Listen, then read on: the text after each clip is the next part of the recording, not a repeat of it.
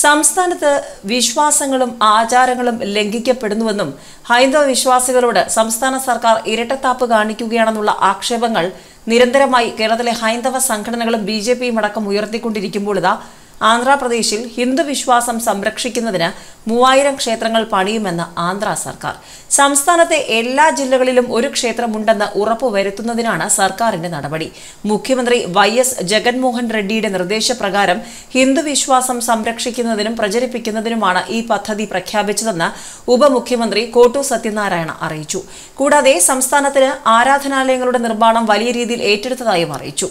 ഹിന്ദു വിശ്വാസം വൻതോതിൽ സംരക്ഷിക്കുന്നതിനും പ്രചരിപ്പിക്കുന്നതിനുമായി പ്രദേശങ്ങളിൽ ക്ഷേത്രങ്ങളുടെ നിർമ്മാണം ആരംഭിച്ചിട്ടുണ്ടെന്ന് സത്യനാരായണ വ്യക്തമാക്കിയിട്ടുണ്ട്. തിരുമല തിരുപ്പതി ദേവസ്ഥാനത്തിന്റെ ശ്രീ വാണി ട്രസ്റ്റിന്റെ പേരിൽ ഓരോ ക്ഷേത്രത്തിന്റെ നിർമ്മാണത്തിനായി പത്ത് ലക്ഷം രൂപ വീതം അനുവദിച്ചിട്ടുണ്ട്.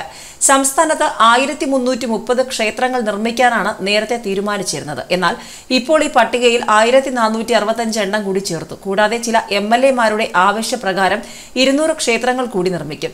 ക്ഷേത്രങ്ങളുടെ നിർമ്മാണം മറ്റ് സന്നദ്ധ സംഘടനകളുടെ സഹായത്തോടെയായിരിക്കും എൻഡോമെന്റ് വകുപ്പിന്റെ നേതൃത്വത്തിൽ തൊള്ളായിരത്തി എഴുപത്തെട്ട് ക്ഷേത്രങ്ങളുടെ നിർമ്മാണം ദ്രുതഗതിയിൽ നടക്കുന്നുണ്ടെന്നും ഓരോ ഇരുപത്തഞ്ച് ക്ഷേത്രങ്ങളുടെ നിർമ്മാണ ചുമതല ഒരു അസിസ്റ്റന്റ് എഞ്ചിനീയറെ ഏൽപ്പിച്ചിട്ടുണ്ടെന്നും മന്ത്രി പറഞ്ഞു.